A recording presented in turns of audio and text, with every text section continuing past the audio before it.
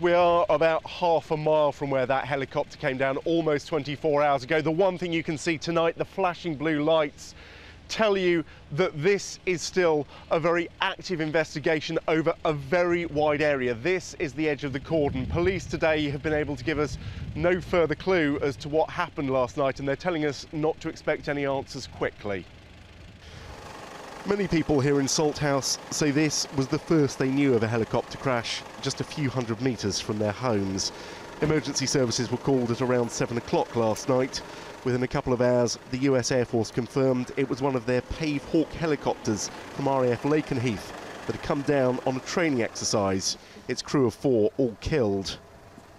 Daylight revealed the second Pave Hawk that had been on the same exercise and landed to help. But the daylight revealed little more about what actually happened. People here are still mystified.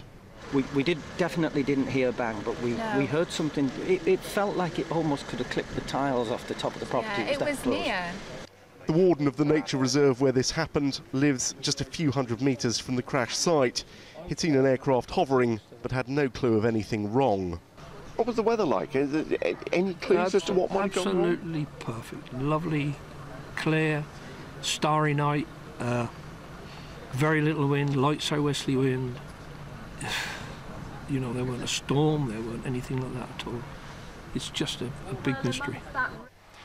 This morning, a digger apparently sent by the US military arrived to join the recovery operation. But investigation of this site comes before recovery. The debris, which includes ammunition, is spread over an area the size of a football pitch. Whatever happened, the results were catastrophic.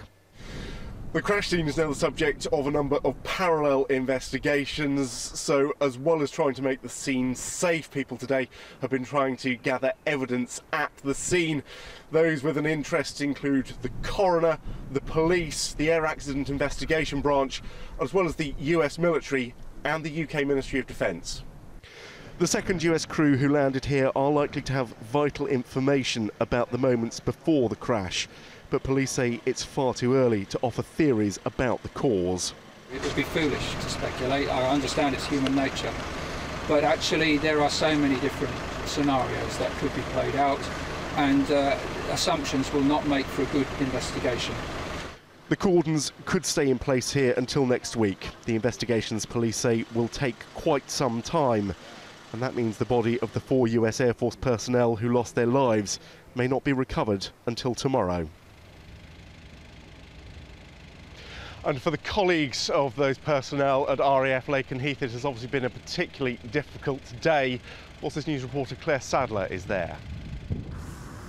Here at RAF Lakenheath, the home base of the crew of that downed helicopter, the mood is understandably a sombre one.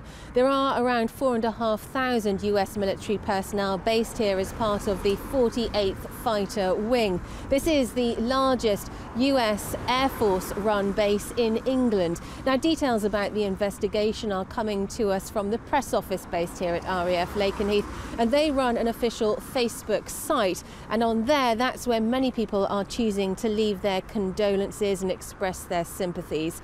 Details about the deceased haven't come out yet. We won't get those until at least 24 hours after next of kin have been informed. That's fairly standard procedure. So the earliest we can expect to hear about that is later on this evening, and that is a matter that's been handled by US authorities. Claire Sadler, Forces News, RAF Lakenheath.